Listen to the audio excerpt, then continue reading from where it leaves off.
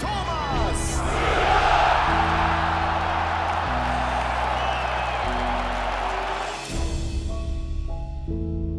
Ich war auf jeden Fall ein kleiner Stöpsel. Das Trikot war mit Sicherheit viel zu groß. Als ich da am D-Jugendplatz äh, auf dem Kunstrasen rumgestolpert bin, mit äh, ja, elf oder zwölf Jahren.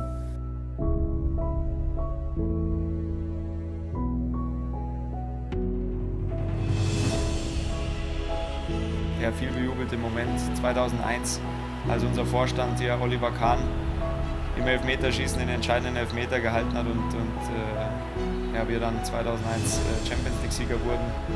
Da war ich als Fan, ich erinnere mich bei meinem Onkel mit meinen ganzen Cousins und äh, Freunden und Bayern-Fans aus dem Ort, und es war schon dunkel, weil es ging ja ins äh, Elfmeterschießen und dann äh, ist der Moment geschehen. Ein Jubelschrei ging durch meinen Heimatort Pell.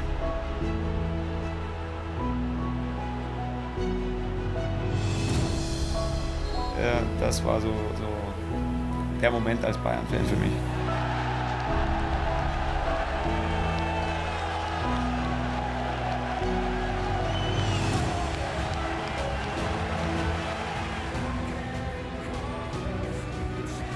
Weiß jetzt nicht, wie viele Spiele ich in der Allianz Arena schon äh, bestritten habe.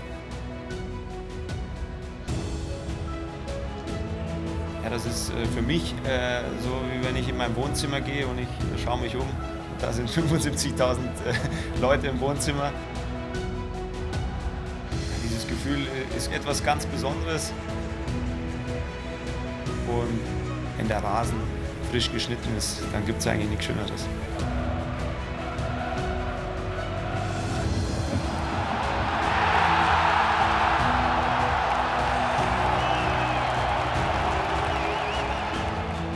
Tor zu erzielen vor der Südkurve.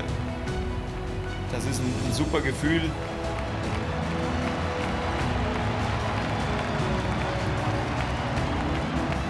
Ja, es ist, es ist was Besonderes. Tore zu erzielen ist, was die Sahne auf der Torte ist, aber natürlich vor seinen eigenen Leuten.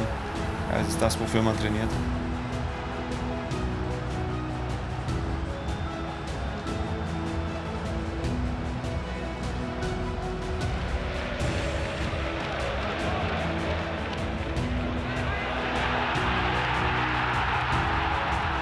Der intensivste Moment war dieses 1 zu 0 äh, im Finale der WAM 2012 äh, gegen den FC Chelsea.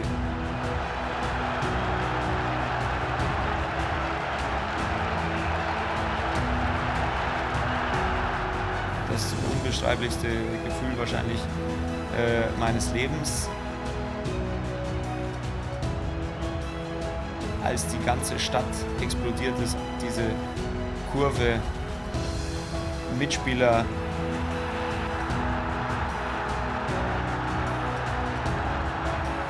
Und vielleicht gerade auch wegen dieser Dramaturgie im Anschluss, sowohl, dass wir verloren haben 2012, als auch, dass wir dann ein Jahr später den Titel geholt haben, äh, ja, ist das irgendwie eine runde Sache.